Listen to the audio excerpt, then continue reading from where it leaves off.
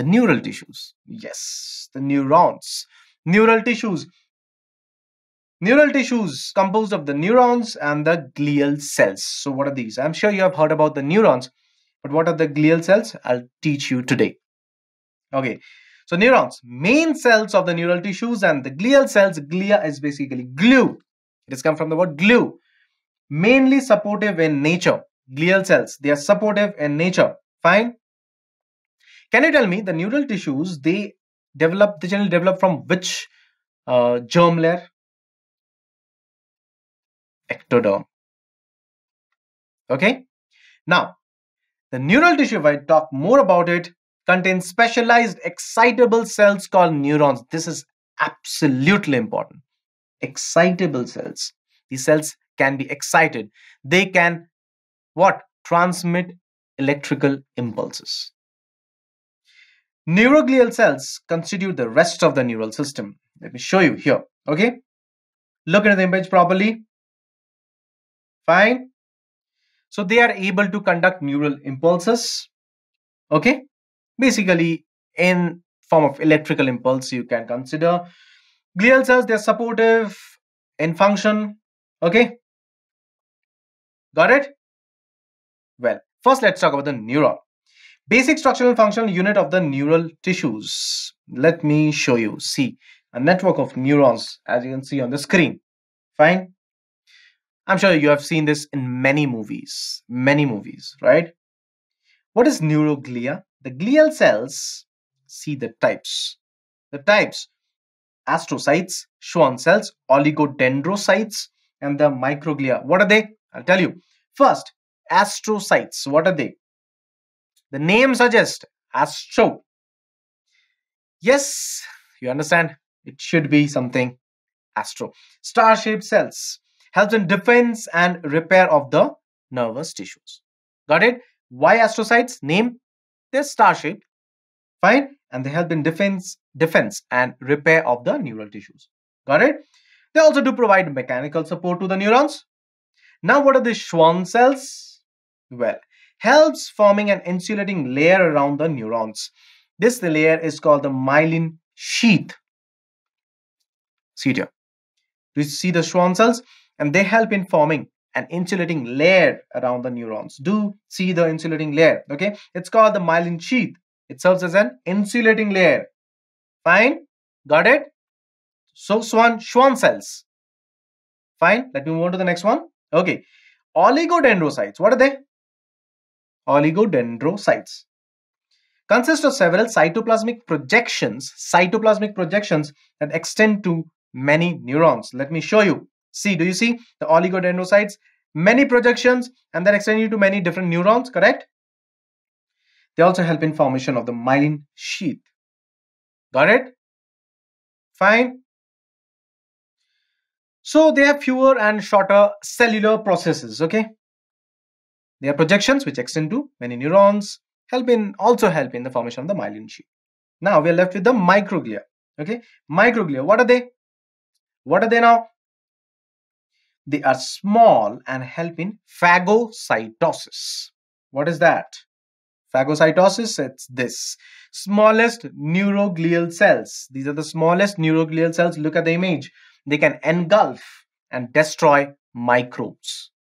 They can engulf and destroy microbes. And since they are engulfing and then destroying, this process is basically phagocytosis. Well, you know what? thank you for the support. So this is these are the words by the neurons because you know neuron it's a star of course. It's a star of course but the star is never a star without their fans. Do you accept this? Right? Do you believe this? If someone is a famous personality or a star right star cannot be a star if he or she does not have any fans right Okay, so of course the star should thank all the supportive cells. Now, ladies and gentlemen, it's time for our star. Well, so let's talk about this parts of the neuron. Neuron, major two parts, the cyton and the cytoplasmic processes. Okay, let me first talk about the cyton. Very, very important structure. Yes, please carefully follow this. Cyton. The cell body is called cyton or the perikaryon. Okay. Soma or the perikaryon consists of the cytoplasm called the nu neuroplasm. Sorry, it's called the neuroplasm and with a central nucleus. Let me show you the picture. Do you see the central nucleus? Yes. Cyton, correct? The cell body, it's the cyton or the perikaryon. It contains the neuroplasm. Fine. Well, this cytoplasm that you're seeing over here, I'm talking about, right? They contain the, of course, this is the neuroplasm. It contains the nucleus, mitochondria, Golgi bodies, endoplasmic reticulum, lysosomes. These are all present over here.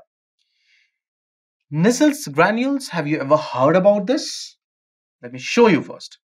Do you see the dotted black dark structures? This is a microscopic view, you know. Yeah.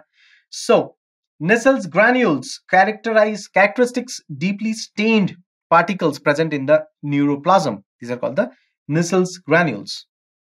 Okay. Nissls granules, these are irregular mass of rough endoplasmic reticulum and free ribosomes okay they can be easily viewed when you are staining it this name Nissls granule was came up because or for, rather from its discoverer known as named as Franz Nissl okay got it so these are the granules present in the neuroplasm great talking about so this was about the cyto talking about the cytoplasmic processes dendrites and the axon. Let's see what are they. First, dendrites. Short branched process. Receives impulse from the adjacent neurons and transfers them to the cyton. Where are they? Let me show you. Hey, do you see? Do you see them? Okay. Do you see them? Wow. It's it's, it's like so th these are neural signals which are passing.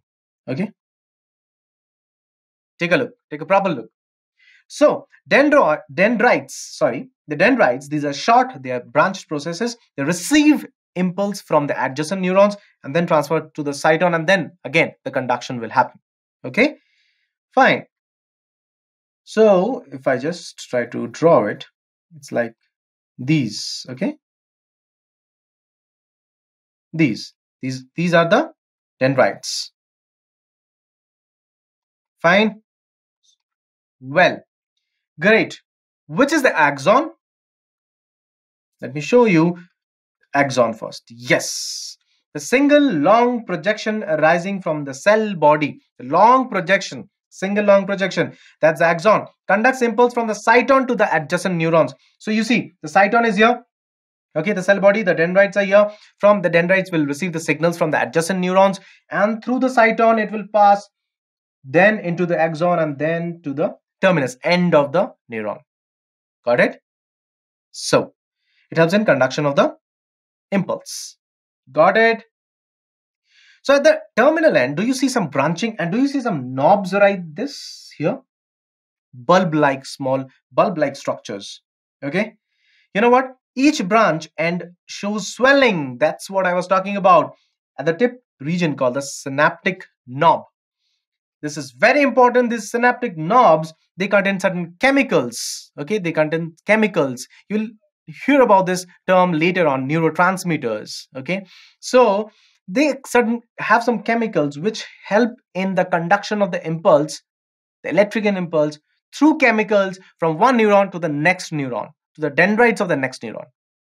Got the concept? Okay. So synaptic knob.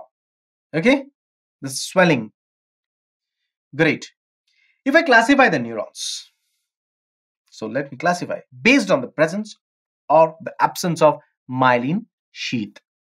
It can be myelinated, of course, if it has myelin, unmyelinated. First, let me show you myelin sheath.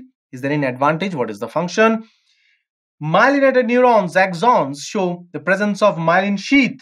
Myelin sheath increases, please note this down, the velocity of conduction of the impulse yes yes so so so this will increase the velocity of the conduction of impulse myelin the myelin sheath presence of myelin sheath why and how the question look at the structure look at the structure okay Now look at this one and try to relate to this. What do you understand? This animal is hopping, right? Let me just imagine. If I'm just running, okay, if I'm just okay, let me let me see. If I'm just walking, okay, my footsteps will be smaller. Each step step will be smaller.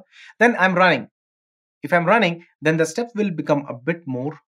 Now, if I'm jumping and going like this, which one will be faster? Jumping, right?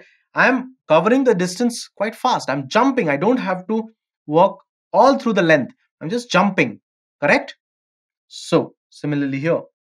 Here, the neural, the neural signal jumps from node, one node to another. So, it's much faster, okay? It's, it's much faster. So, the points that are devoid of the myelin sheath are called the nodes of Ranvier. Ranvier, okay? Nodes of Ranvier. These areas serves as points where the impulse can travel through the neurons. Do you see the nodes of Ranvier? Fine. Here the myelin sheath is not present. These are nodes. Now the signal will jump from here to here, then to here, then to here. Let me do it below. From here to here, from here to here, here to here. So it's jumping. It's much faster. Correct? Okay.